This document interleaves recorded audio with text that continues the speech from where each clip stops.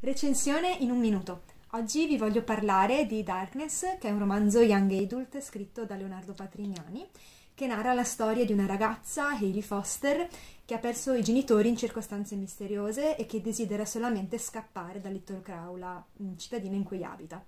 E, tuttavia, nel momento in cui cerca di lasciare la città, una nube nera eh, cala sulla cittadina e eh, inizia eh, una notte senza fine all'interno della quale eh, scoprirà il significato dell'amicizia e dei ricordi.